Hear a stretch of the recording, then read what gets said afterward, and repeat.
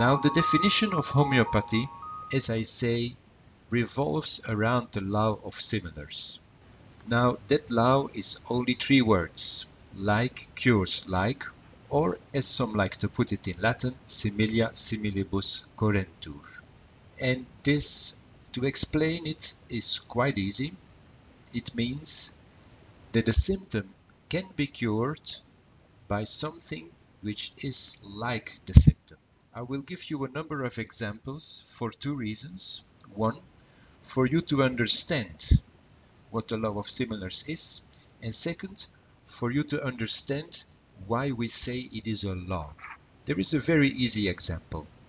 Most of you fell on their head, on their knee, and whatever. For many of you, maybe your mother or someone pushed on the bump on your head.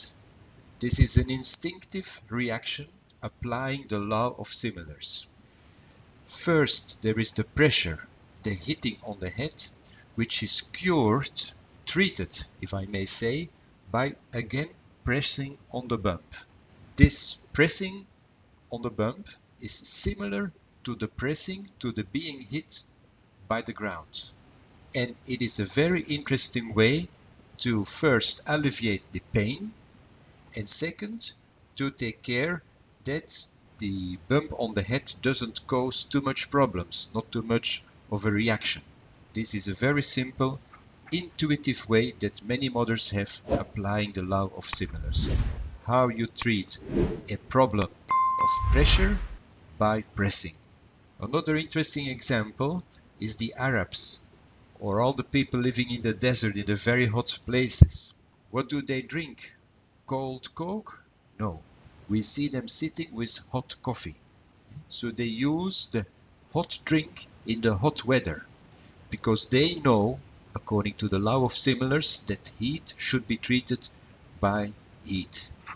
Another interesting anecdote, which is in a way an application of the law of similars, is this little story from the practice of Milton Erickson, the famous psychiatrist. The story goes that he was once called upon treating a patient, a psychiatric patient that was acting in a very erratic and irrational way and uh, laughing and uh, yelling and, uh, and narrating and, and behaving very frantic. And nobody could approach this person, let alone treat him. So what Milton Erickson did is go and watch that person again and again and again. They didn't speak. Then one day he went to that person and he imitated the person. He acted, he laughed, he yelled, he spoke in the same way as that person, like as if he was conversing with that person. Do you see the similarity? Well, the fantastic end of this story is that suddenly this person stopped behaving as he was behaving for so long and said, Yes, I understand, I must stop with this behavior. And it was like an instant change in this behavior that he obtained by applying a similar behavior to the patient.